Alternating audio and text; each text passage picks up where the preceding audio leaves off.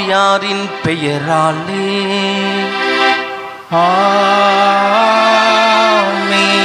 நம் ஆண்டவராக இயேசு கிறிஸ்துவின் அருளும் கடவுளின் அன்பும் தூய ஆவியானவரின் நட்புறவும் உங்கள் அனைவரோடும் இருப்பதாக. உம் ஆன்மாவோடும் இருப்பதாக. இறை இயேசுவில் பிரியமுள்ள சகோதர சகோதரிகளை அன்னையின் அன்பு பக்தர்களே மாதா தொலைக்காட்சி நேயர்களே. இன்றைக்கு தாயாம் திருவை நற்செய்தியாளர்களுள் ஒருவரான புனித மார்க்குவினுடைய விழாவினை இன்றைக்கு அக்களித்து கொண்டாடி மகிழ்கின்றது. புனித மார்க் நற்செய்தியாளர் தன்னுடைய இயேசுவின் மீது கொண்டிருந்த அன்பை எழுத்துப்பூர்வமாக அவர் நமக்கு நற்செய்தியாக வடிவமைத்து தந்து தன்னுடைய வாழ்விலே நற்செய்தியை பகிர்ந்திருக்கிறார். இன்றைக்கு நமக்கும் நம் வாழ்வின் வழியாக எத்தனையோ வழிகளில் நற்செய்தியை பறைசாற்ற நமக்கு வாய்ப்புகள் கிடைத்த போதிலும் நாம் நற்செய்தியாளராக மாறுவதற்கு பல நேரங்களில் தயங்கி இருக்கின்றோம்.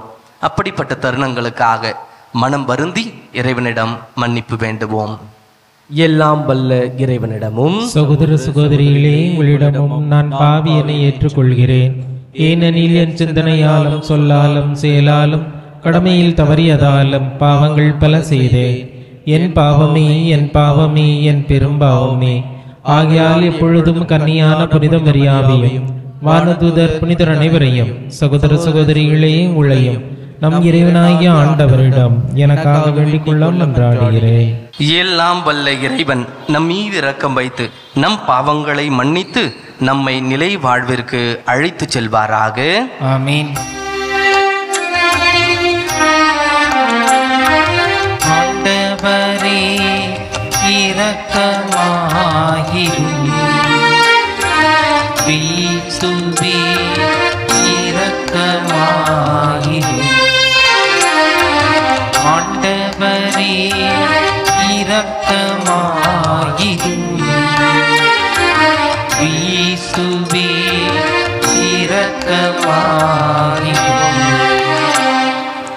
உன்னதங்களிலே கடவுளுக்கு மாட்சி உண்டாகுக.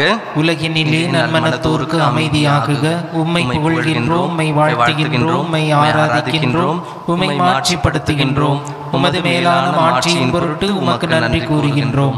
ஆண்டவராகிய இறைவா வானுலக அரசரே எல்லாம் வல்ல தந்தையாகிய இறைவா ஒரே மகனாய் உதித்த ஆண்டவரே இயேசு கிறிஸ்துவே ஆண்டவராகிய இறைவா இறைவனின் செம்மறியே தந்தையின் திருமகனே உலகின் பாவங்களை போக்குபவரே எங்கள் மேல் இரக்கமாயிரும்.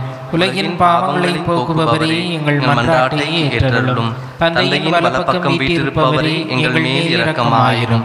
ஏனெனில் இயேசு கிறிஸ்துவே நீர் ஒருவரே தூயவர் நீர் ஒருவரே ஆண்டவர் நீர் ஒருவரே உன்னதர். தூய ஆவியாரோடு தந்தையாகிய இறைவனின் மாட்சியில் இருப்பவர் நீரே. ஆமேன். மன்றாடுவோமாக. இறைவா நற்செய்தியை அறிவிக்கும் அருளை கொடுத்து உம் நற்செய்தியாளரான புனித மார்க்கை உயர்த்தினீரே அவரது போதனையால் பயன்பெற்று நாங்கள் உண்மையில் கிறிஸ்துவின் அடிச்சுவடுகளை பின்பற்றி செல்ல அருள் புரிவீராக.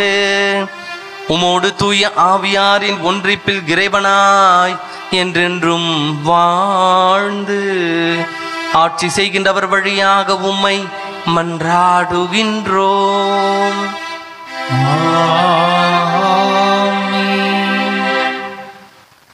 திருத்தூதர் பேதுரை எழுதிய முதல் திருமுகத்திலிருந்து வாசகம் அதிகாரம் ஐந்து இறை வார்த்தைகள் ஐந்து முதல் பதினான்கு முடிய.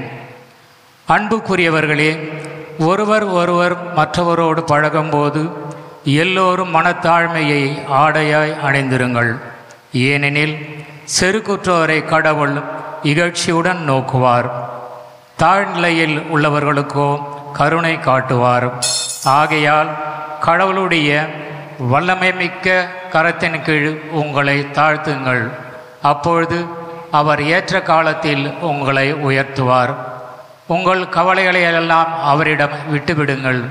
ஏனென்றால் அவர் உங்கள் மேல் கவலை கொண்டுள்ளார். அறிவு தெளிவோடு விழிப்பாயிருங்கள். உங்கள் எதிரியாகிய அழகை யாரை விழுங்கலாம் என கர்ஜிக்கும் சிங்கம் போல தேடி திரிகிறது. அசையாத நம்பிக்கை கொண்டவர்களாய் அதனை எதிர்த்து நில்லுங்கள். உலகெங்கிலும் உள்ள உங்கள் சகோதரர் சகோதரிகள் உங்களைப் போலவே துன்பங்களுக்கு உள்ளாகிறார்கள் என்பதை நீங்கள் அறிந்திருக்கிறீர்கள் அல்லவா? எல்லா அருளும் நிறைந்த கடவுள் இயேசு கிறிஸ்துவுக்குள் என்றும் நிலைக்கும் தம் ஆட்சியில் பங்கு கொள்ள உங்களை அழைத்திருக்கிறார்.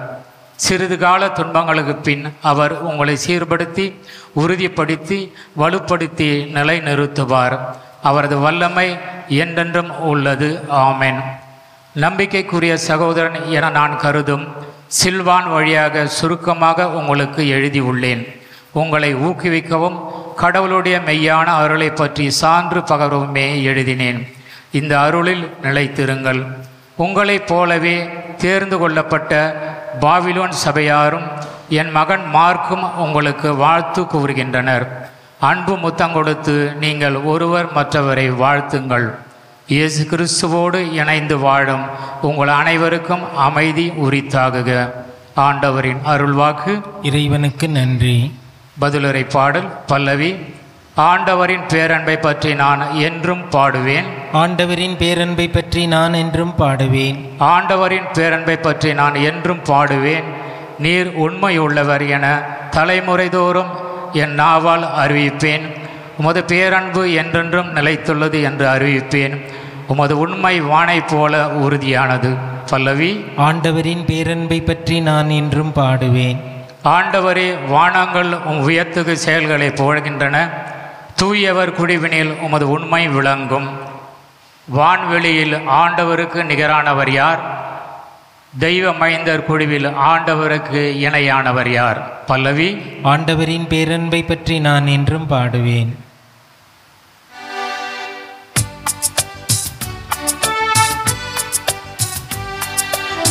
அல்லிலூயா அல்லிலூயா அல்லிலூயா அல்லிலூயா அல்லிலூயா அல்லிலூயா அல்லிலூயா அல்லிலூயா வழியும் உண்மையும் வாழ்வும் நானே என் வழியாயன்றி எவரும் தந்தையிடம் வருவதில்லை. என்கிறார் ஆண்டவர். அல்லேலூயா அல்லேலூயா அல்லேலூயா அல்லேலூயா. வார்த்தையான ஆண்டவர் உங்களோடு இருப்பாராக. உமான்மாவோடும் இருப்பாராக. புனித மார்க்கு எழுதிய தூய நற்செய்திலிருந்து வாசகம். ஆண்டவரே மாட்சி உமக்கே. அதிகாரம் பதினாறு இறை வார்த்தைகள் பதினைந்திலிருந்து இருபது முடிய. அக்காலத்தில் இயேசு பதினொருவருக்கும் தோன்றி உலகெங்கும் சென்று படைப்பிற்கெல்லாம் நற்செய்தியை பறைசாற்றுங்கள்.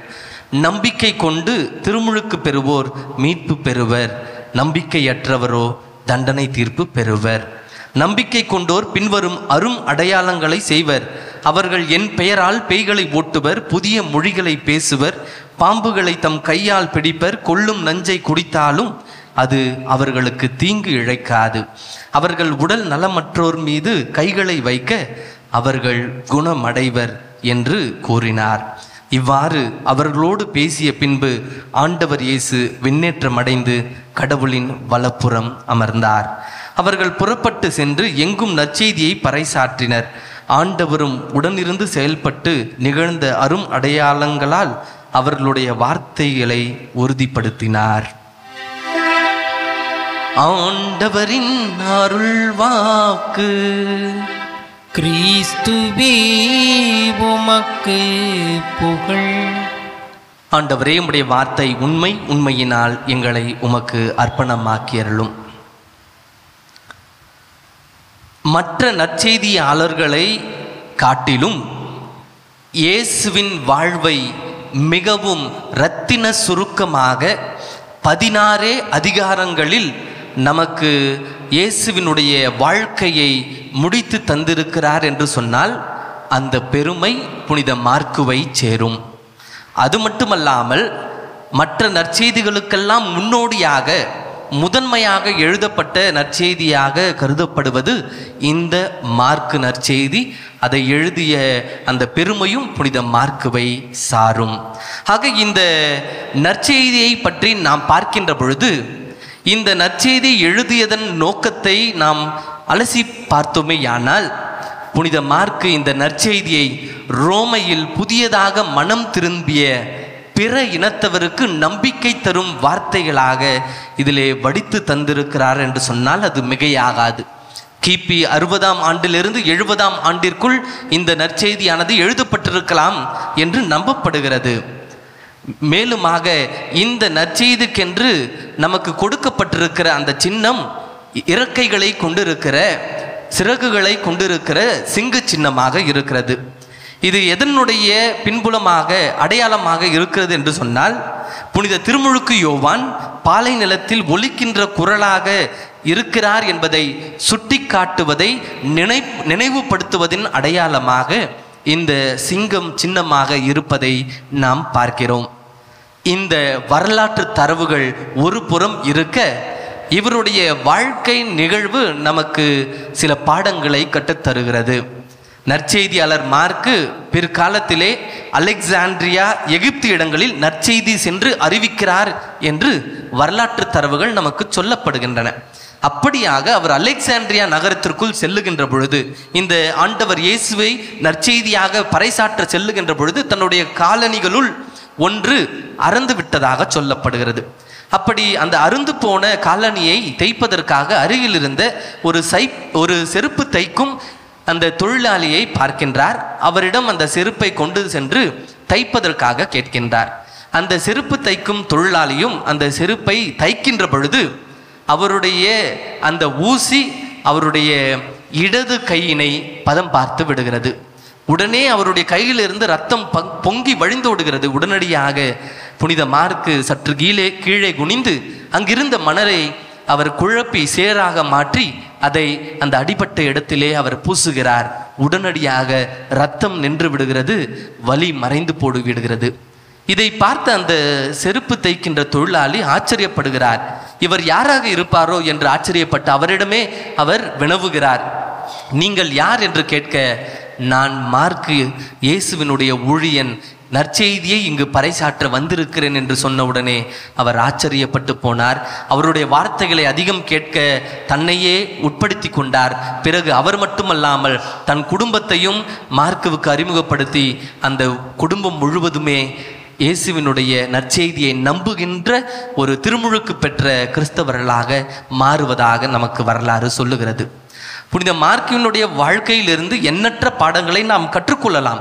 ஆனாலும் கூட இன்றைக்கு நாம் அவரிடமிருந்து இரண்டே இரண்டு பாடங்களை கற்றுக்கொள்ள நாம் அழைக்கப்படுகிறோம். முதலாவது புனித மார்க் ஓர் உடன் உழைப்பாளர். இஸ் எ கோ ஒர்க்கர் பணி செய்கின்ற ஒருவருக்கு அவர் உடனிருந்து ஒத்தாசையாக பணிபுரிகின்ற ஒரு நபராக இருப்பதை நாம் ஏடுகளிலே பார்க்கிறோம். கிபி நாற்பத்தி ஆறு மற்றும் அறுபதாம் ஆண்டுகளில் புனித பவுலோடு திருத்தூது பயணத்தில் உறுதுணையாக இருப்பது நமக்கு மிகவும் தெல்ல தெளிவாக இறைவார்த்தையில் கொடுக்கப்பட்டிருக்கிறது. இரண்டு திமுத்தையும் அதிகாரம் நான்கு இறைவார்த்தை பதினொன்றிலே வாசிக்கிறோம். புனித பவுல் திமுத்தையை நோக்கி இப்படியாக சொல்லுகிறார். மார்க்கை உன்னுடன் கூட்டி வா. அவர் திருத்தொண்டில் எனக்கு மிகவும் பயன் உள்ளவர் எனக்கு திருத்தொண்டில் மிகவும் பயனுள்ளவர் என்கிற வார்த்தையை புனித மார்க்கு இங்கு பெறுவதை நாம் பார்க்கிறோம். ஆக அது மட்டுமல்லாமல் அவர் அவர்களுக்கு உதவியாளராக இருப்பதை நாம் பார்க்கிறோம். அவர்கள் செல்லுகின்ற இடங்களுக்கெல்லாம் இவர் மிகப்பெரிய ஒரு உதவியாக அவர்களுக்கு செயல்படுவதை நாம் பார்க்கிறோம். காலத்துக்கு நம்முடைய வாழ்விலே நாம் பெறுகின்ற காயத்துக்கு சில நேரங்களில் நாம் மருந்தாக இருக்க வேண்டாம். தளர்ந்து போக விடாமல் தட்டி கொடுக்கும் கைகளாக இருந்தாலே போதும். நாம் வரலாற்றில் நினைவு கூறப்படுவோம் என்பதற்கு புனித மார்க்குவினுடைய இந்த தனிப்பெரும் பண்பு உடன் உழைக்கும் பண்பு அது மிகப்பெரிய சான்றாக அமைகிறது என்று சொன்னால் அது மிகையாகாது. ஆக நம்முடைய வாழ்க்கையிலும் கூட எண்ணற்ற வகையில் நாம் உடன் உழைப்பாளர்களாக இருக்கலாம். ஒரு குடும்பத்திலே ஒரு கணவன் ஒரு மனைவிக்கோ ஒரு மனைவி ஒரு கணவனுக்கோ பிள்ளைகள் பெற்றோருக்கோ பெற்றோர்கள் பிள்ளைகளுக்கோ உடன் உழைப்பாளர்களாக இருக்கலாம். பல நேரங்களில் இந்த பணிகளை பிரித்துவிட்டு அது அவருடைய வேலை இது இவருடைய பணி என்று அடுத்தவர்கள் மீது பணிகளை சுமத்தக்கூடியவர்களாக நாம் இருக்கின்றோமே அன்றி அடுத்தவர்கள் பணியாக இருந்தாலும் உடன் இருந்து அவர்களோடு உழைக்கின்ற பொழுது அந்த பணியினுடைய பலு அந்த பணியினுடைய சுமை குறைந்து போகிறது என்பதற்கு புனித மார்க்குவினுடைய வாழ்க்கை நமக்கு சான்றாக அமைகிறது. ஆக இன்றைக்கு புனித மார்க்குவிடமிருந்து நீங்கள் நானும் கற்றுக்கொள்ள வேண்டிய ஒரு முக்கிய பாடம் நம்முடைய பயணத்தில் குறிப்பாக வாழ்க்கை பயணத்தில் இருக்கின்றவர்களுக்கு ஒரு உடன் உழைப்பாளராக கோ ஒர்க்கர் என்னுடைய மனைவிக்கு நான் உதவியாக இருப்பேன் என் கணவனுக்கு நான் உதவியாக இருப்பேன் என் பிள்ளைகளுக்கு நான் உதவியாக இருப்பேன் என்று நான் எப்பொழுது ஒரு உடன் உழைப்பாளராக நான் இருக்கிறேனோ கட்டாயம் நீங்களும் நானும் இயேசுவினுடைய நற்செய்தி நம்முடைய குடும்பங்களில் பகிர்கின்ற நற்செய்தியாளராக மாற முடியும் என்பதற்கு புனித மார்க் மிகப்பெரிய ஒரு உதாரணமாக நமக்கு இருக்கின்றார். இரண்டாவதாக பார்க்கின்ற பொழுது புனித மார்க் ஒரு நற்செய்தியாளராக நாம் பார்க்கிறோம். ஒரு நற்செய்தியாளர் என்று சொன்னால் வெறுமனே மார்க் நற்செய்தியை நமக்கு கொடுத்ததற்காக நற்செய்தியாளராக மட்டும் இல்லாமல் இயேசு என்கிற ஒரு நல்ல செய்தியை மற்றவர்களும் அறிந்து கொள்ள வேண்டும் என்று தன்னுடைய வாழ்க்கையை தியாகம் செய்து அந்த நற்செய்தியை இயேசு என்கிற நற்செய்தியை தாங்கி செல்லும் வாகனமாய் தன்னை மாற்றிக்கொள்ளுகிறார் என்று சொன்னால் அதே போல நீங்களும் நானும் திருமுழுக்கு பெற்றிருக்கிறோம். திருமுழுக்கு பெற்றிருக்கிற நாம் அனைவரும் இன்றைக்கு நற்செய்தி வாசகத்திலே சொல்லப்பட்டது போல உலகெல்லாம் சென்று நற்செய்தியை பறைசாற்றுங்கள் என்கிற வார்த்தை நம் ஒவ்வொருவருக்கும் பொருந்தும். பல நேரங்களில் இந்த இறை வார்த்தையை கேட்கின்ற பொழுது இது குருக்களினுடைய பணி இது துறவியர்களுடைய பணி இது அவர்களுடைய பணி என்று நம்முடைய பணி இல்லாதது போல நம்மை காட்டிக்கொள்கிறோம் ஆனால் திருமுழுக்கு பெற்ற ஒவ்வொருவருக்கும் இந்த அழைப்பானது கொடுக்கப்பட்டிருக்கிறது. உலகெல்லாம் சென்று நீங்கள் நற்செய்தியை பறைசாற்றுங்கள். அதனால்தான் இன்றைக்கு நற்செய்தி வாசகத்திலே நாம் இப்படி பார்க்கிறோம். நம்பிக்கை கொண்டோர் அனைவரும் இந்த அடையாளங்களை செய்வர். ஆக நீங்களும் நானும் நம்பிக்கை கொண்டோமையானால் இயேசு சொன்ன அத்துணை அடையாளங்களையும் நம்மால் செய்ய இயலும். நம்மிடம் எதிர்பார்ப்பதெல்லாம் நம்பிக்கை மட்டுமே. இறைவன் நமக்கு கொடுத்திருக்கிற அந்த நம்பிக்கையை நாம் தாங்கிக் கொண்டிருக்கிறவர்களாக அதை தொடர்ந்து புதுப்பித்துக் கொண்டு நம்முடைய வாழ்க்கையில் இயேசுவை பற்றி கொள்கின்றவர்களாக மாறுகின்ற பொழுது நீங்களும் நானும் இந்த புனித மார்க்குவை போல நற்செய்தியாளராக நீங்களும் நானும் வாழ முடியும். இன்றைய நற்செய்தியும் நாம் பார்க்கிறோம் யார் ஒருவர் இயேசுவின் மீது நம்பிக்கையை வைத்து உடல் நலமுற்றோர் மீது கைகளை வைக்க அவர்கள் குணமடைவர் என்று இயேசுவே நமக்கு ஒரு வாக்கை தந்திருக்கிறார் என்று சொன்னால் இன்றைக்கு இறைவன் மீது நம்பிக்கை வைத்து நாம் அடுத்தவர்களை நம்முடைய வாழ்க்கையாலும் நம்முடைய வார்த்தையாலும் நம்முடைய தொடுதலாலும் நாம் தொடுகின்ற பொழுது கட்டாயம் அவர்களுக்கு குணம் கிடைக்கப் போகிறது காரணம். இது நாம் சொல்லுகின்ற வார்த்தை அல்ல இறைவன் நமக்கு சொல்லுகின்ற வார்த்தை. ஆக அடுத்தவர்களுக்கு நாம் ஒரு மருந்தாக இல்லாவிட்டாலும் கூட நாம் அவர்களுக்கு ஆறுதல் தரும் ஒரு தேற்றரவாக நாம் இருக்கின்ற பொழுது இறைவனுடைய நற்செய்தியாளராக நீங்களும் நானும் மாற முடியும். ஆக இந்த இரண்டு உன்னதமான அழைப்பினை புனித மார்க்குவிடமிருந்து நாம் கற்றுக்கொள்ள அழைக்கப்படுகிறோம். இறைவன் தாமே புனித மார்க்கினுடைய பரிந்துரையின் வழியாக நமக்கு இந்த ஆசீர்வாதங்களை பெற்றுத்தர தொடர்ந்து இந்த பலியை நாம் ஒப்பு கொடுத்து மன்றாடுவோம். ஆமேன்.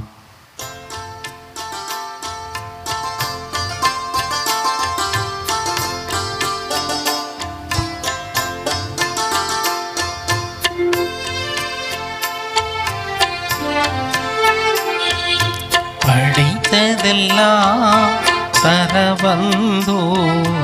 பரம்பொருளே உன் திருவடியில் படைத்ததெல்லாம் சரவந்தோ. பரம்பொருளே உன் திருவடியில் உன் நினைவு எல்லாம் பெயர் சொல்லும். என் வாழ்வினிலே படைத்ததெல்லாம் பரவந்தோ பரப்போ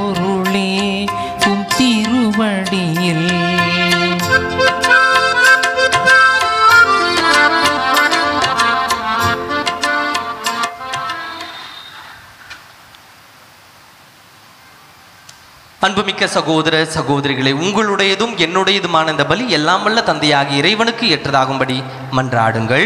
ஆண்டவர் தமது பெயரின் புகழ்ச்சிக்காகவும் ஆட்சிக்காகவும் நமது நன்மைக்காகவும் புனித திரு அனைத்து நலனுக்காகவும் நமது கையிலிருந்து இப்பலியை ஏற்றுக்கொள்வாராக.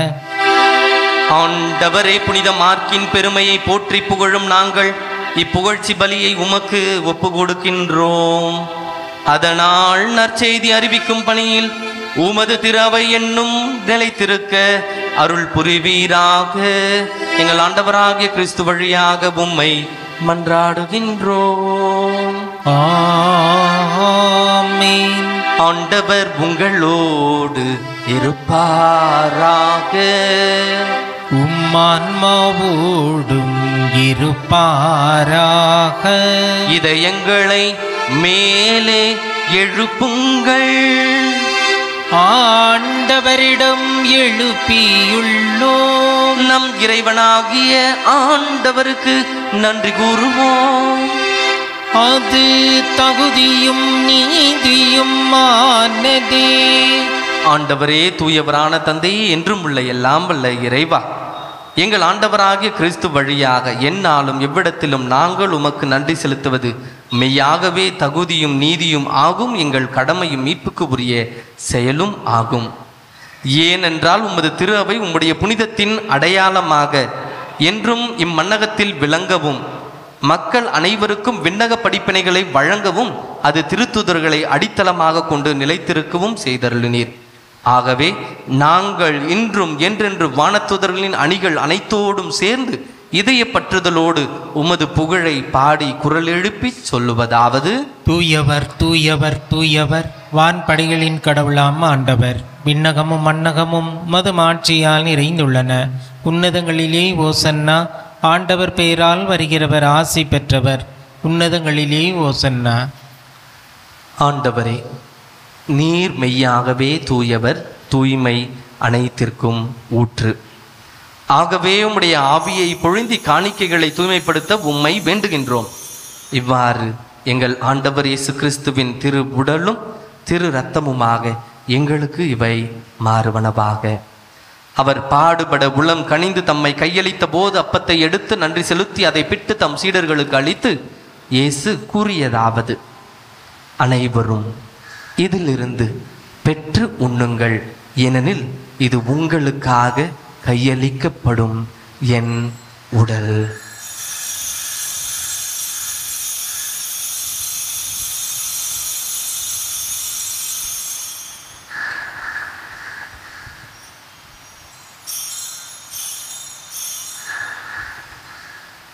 அவண்ணமே இரவு விருந்தை அருந்திய பின் கிண்ணத்தையும் எடுத்து மீண்டும் உமக்கு நன்றி கூறி தம் சீடர்களுக்கு அளித்து இயேசு கூறியதாவது. அனைவரும் இதிலிருந்து பெற்று பருகுங்கள் ஏனெனில் இது புதிய நிலையான உடன்படிக்கைக்கு உரிய என் இரத்தத்தின் கிண்ணம். இது பாவ மன்னிப்புக்கென்று உங்களுக்காகவும் பலருக்காகவும் சிந்தப்படும். இதை என் நினைவாகச் செய்யுங்கள்.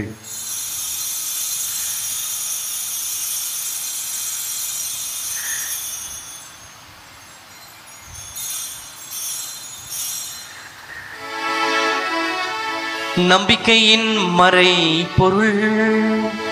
ஆண்டவரே நீர் வருமளவும் உமது இறப்பினை அறிக்கையிடுகின்றோம். உமது உயிர்ப்பினையும் எடுத்துரைக்கின்றோம்.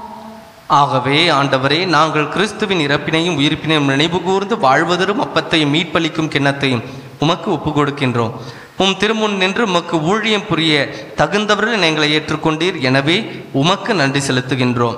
மேலும் கிறிஸ்துவின் உடலிலும் இரத்தத்திலும் பங்கு கொள்ளும் எங்களை தூய ஆவியார் ஒன்று சேர்க்க வேண்டுமென உம்மை தாழ்மையுடன் மன்றாடுகிறோம். ஆண்டவரே உலகெங்கும் பரவியிருக்கும் அது திரு நினைவு கூர்ந்தருளும். எங்கள் திருத்தந்தை பிரான்சிஸ் எங்கள் பேராயர் ஜார்ஜ் ஆண்டகை எல்லா திருநிலையினர் ஆகிய அனைவரோடும் அது திருவை அன்பில் நிறைவு பெறச் செய்தருளும். மேலும் உயிர்த்தெழும் எதிர்நோக்குடன் தொழில் கொள்ளும் எங்கள் சகோதர சகோதரிகளையும் இறந்தோர் அனைவரையும் இரக்கத்துடன் நினைவு கூர்ந்து உமது திருமுக ஒளியினுள் ஏற்றருளும். எங்கள் அனைவர் மீதும் இரக்கமாயிரும். கடவுளின் கன்னித்தாயான புனித மரியா அவருடைய அன்பு கணவரான புனித யோசேப்பு புனித திருத்துதர்கள் இன்றைக்கு நாங்கள் விழா கொண்டாடும் நற்செய்தியாளர் புனித மார்க்கு இவ்வுலகில் உமக்கு உகந்தவராய் இருந்தோர்.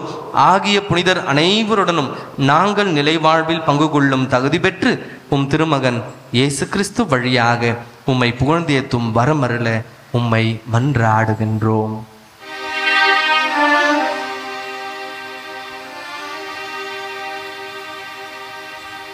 இவர் வழியாக இவரோடு இவரில் எல்லாம் வல்ல இறைவனாகிய தந்தையே. தூய ஆவியாரின் ஒன்றிப்பில் எல்லா புகழ் மாட்சியும் என்றென்றும் உமக்கு.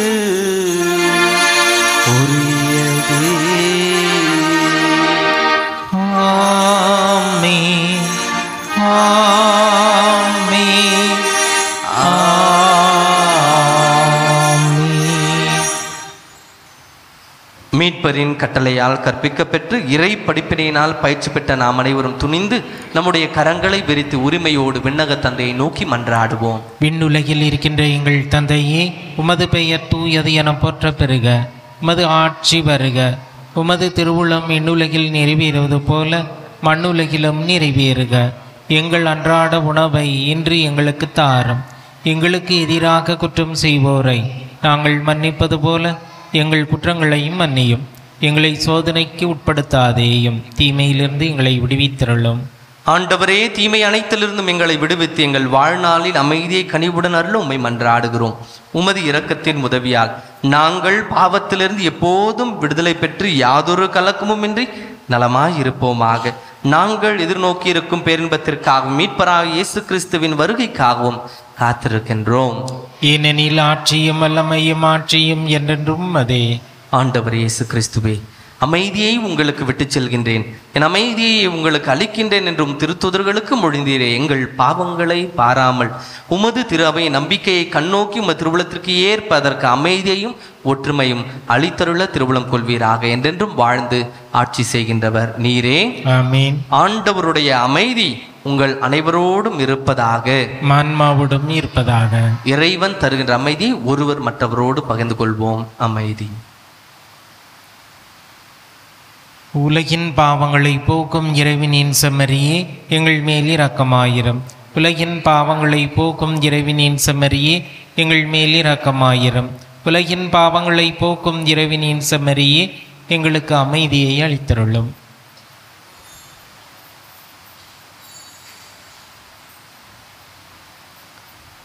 இதோ இறைவனின் செம்மறி இதோ உலகின் பாவங்களை போக்குகிறவர்.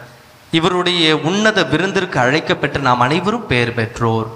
ஆண்டவரே நீர் என் இல்லத்தில் எழுந்திருள்ள நான் தகுதியற்றவன். ஆனால் ஒரு வார்த்தை மட்டும் சொல்லி இருளும் எனது ஆன்மா நலமடையும். நம்மை காத்து முடிவில் வாழ்வழித்தார் இதோ உலகம் முடிவு வரை என்னாலும் நான் உங்களோடு இருக்கிறேன் என்கிறார் ஆண்டவர். அல்லேலுயா. நன்றி கூறி மன்றாடுவோமாக. எல்லாம் வல்ல இறைவா உமது புனித பீடத்திலிருந்து நாங்கள் பெற்றுக்கொண்ட திரு உணவு எங்களை புனிதப்படுத்த உம்மை வேண்டுகின்றோம். அதனால் புனித மார்க் போதித்த நற்செய்தியின் மீதுள்ள நம்பிக்கையில் அவ்வுணவு எங்களை உறுதியாய் இருக்க செய்வதாக. எங்கள் ஆண்டவராகிய கிறிஸ்து வழியாக உம்மை மன்றாடுகின்றோம்.